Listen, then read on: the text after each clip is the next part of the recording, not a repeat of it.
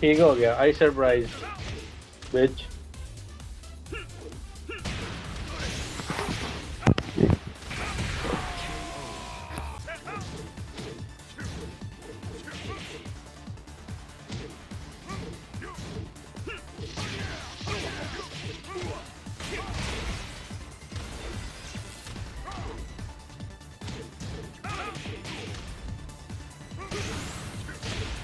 Thank you.